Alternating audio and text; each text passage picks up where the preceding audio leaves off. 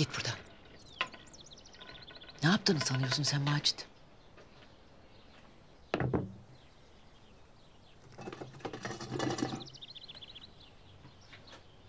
Dağların menekşesi.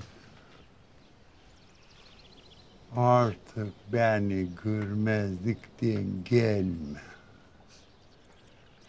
Seni görmemek mümkün mü be? Macit. Bak canım sıkkın. Hırsımı senden çıkartırım. Hadi git artık buradan.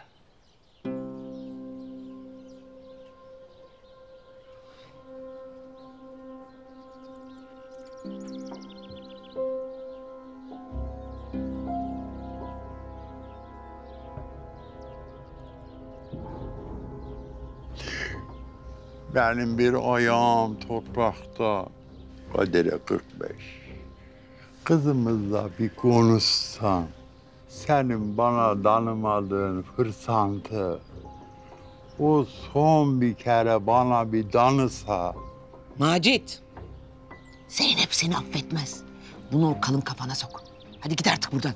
Hadi. Ben onun gönlünü alırım. O beni affeder. Ben kızım diye buralara geldim.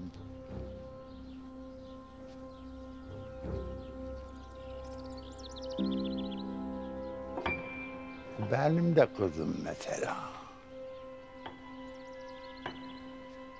Benim de onun parasını yeme hakkım var.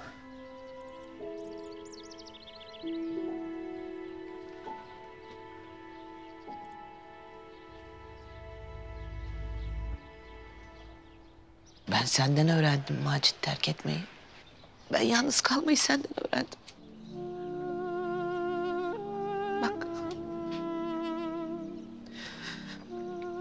Bahar kızımı da yolladım. Yalnız kaldım. Yarım kaldım. Sen terk ettin beni. Hep bir yarımı eksik bıraktın sen beni Macit.